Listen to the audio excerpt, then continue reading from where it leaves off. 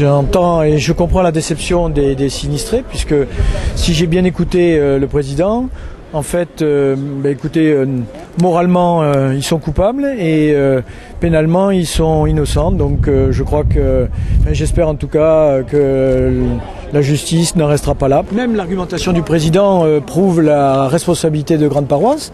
Et donc, euh, on entend un discours qui, euh, en gros, dit moralement coupable et pénalement, euh, comme le dit monsieur, pénalement euh, innocent, euh, avec euh, des, des arguments qui montrent que les euh, raisons pour lesquelles euh, pénalement ils sont euh, euh, innocents, c'est quand même des dissimulations de preuves qui ont été faites et reconnues par le président.